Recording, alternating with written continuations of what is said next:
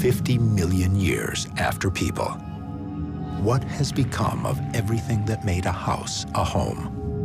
The answer is found compressed into a thin geologic strata, buried a quarter mile deep in many places. This human layer or strata of the geologic record is unique.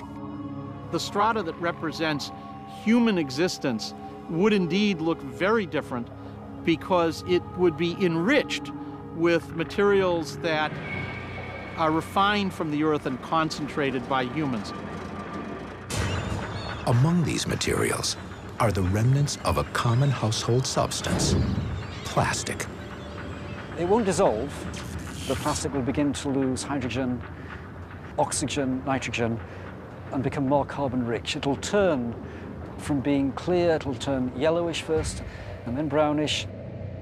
But no one really knows how long certain plastics can last, especially buried away from oxygen, water, and ultraviolet light.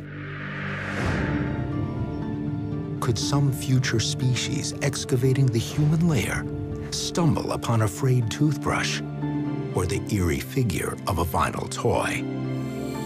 Reminders of the lives once lived and the homes once cherished, now buried in a narrow slice of Earth's geologic record in a life after people.